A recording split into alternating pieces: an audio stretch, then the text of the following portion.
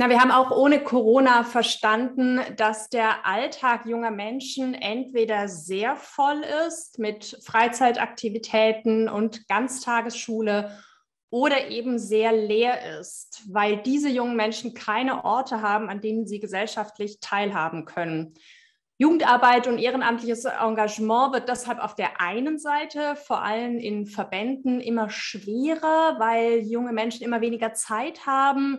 auf der anderen Seite aber für diese zweite Gruppe junger Menschen gibt es nicht genügend Einrichtungen und Fachkräfte, um sie dort zu erreichen, wo sie sind, ob an der Bushaltestelle oder eben auch im Netz.